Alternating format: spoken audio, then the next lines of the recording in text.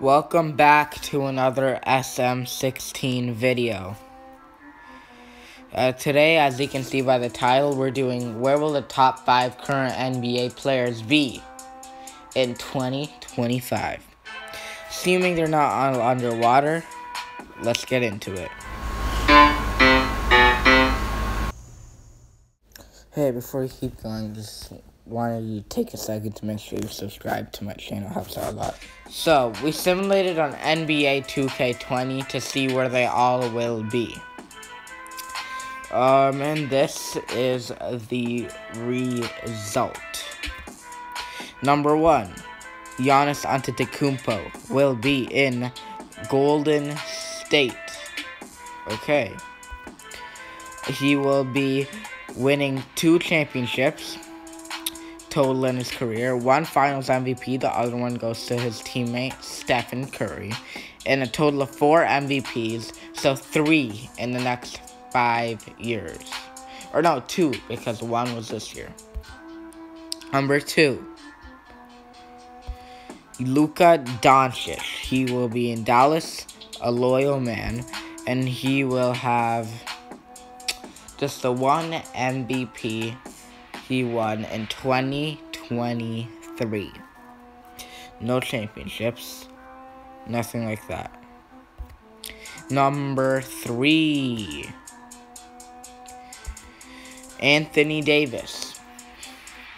He will have gone to Boston to play with his star teammate Kemba Walker, Jayson Tatum, and have a great all around team they will finally take down the Eastern Powers and be able to win a ring, and Anthony Davis will take home the finals MVP from that ring.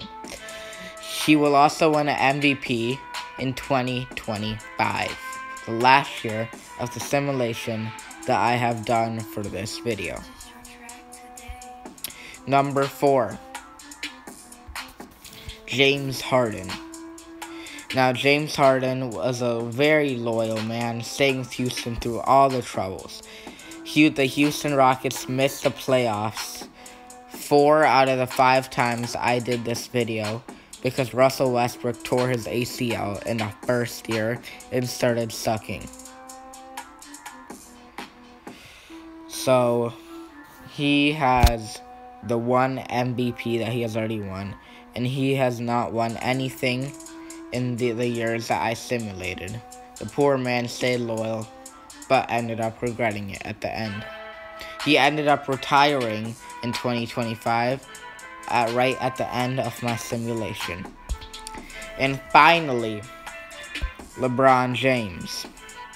Now, LeBron James, he was in, he ended up in the biggest mansion possibly able to be bought in the United States of America.